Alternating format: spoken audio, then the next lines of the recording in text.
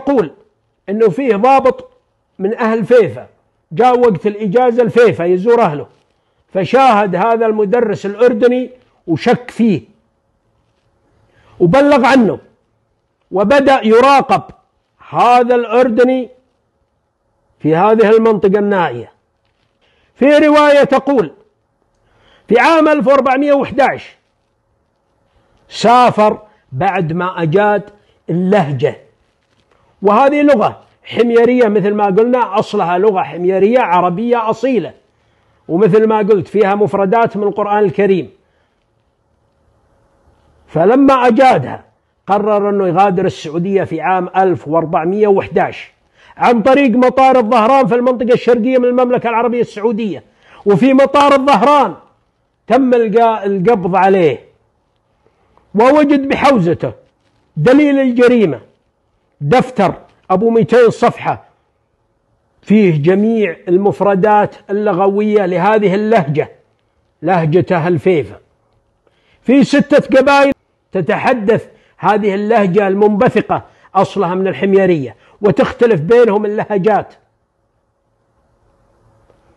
ألقى القبض عليه معاه دفتر أبو 200 الكلمة بالفيفي وقدامها بالعبرو باللغة العبرية. سلام عليكم. شالوم عليكم. فألقي القبض عليه بالجرم المشهود.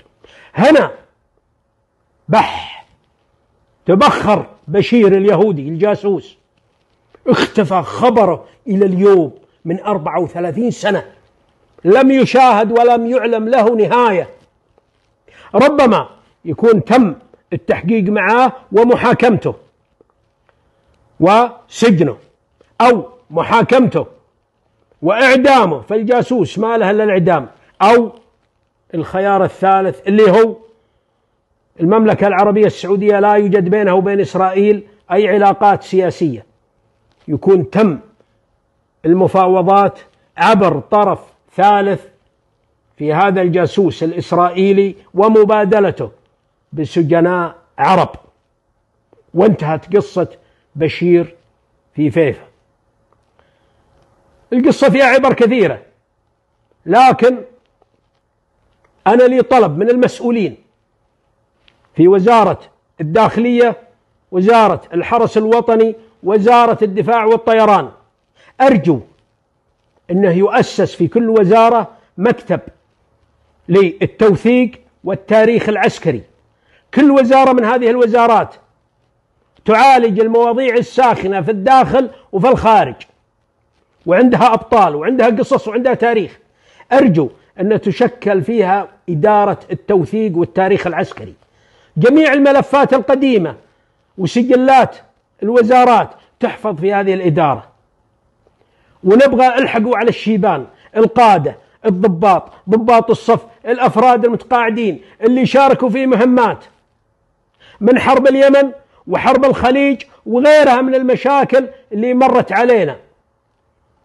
نجيب الناس هذولا للوزارة في إدارة التوثيق والتاريخ العسكري ويسوى لقاء معاه وناخذ الأفكار اللي عنده. ناس متخصصين في التاريخ في الإدارة. ويصور حديثه فيديو صوت وصورة ويوثق أيضا بسجلات وكتابة وكتب.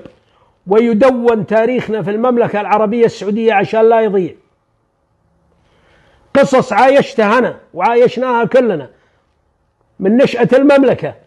نجي الآن نلقى تضارب في مواقع الشبكة العنكبوتية وفي حديث الناس اللي شاركوا كل واحد يجيب قصة من جهته. شاكر لكم جدا. وتحياتي للجميع وفي أمان الله.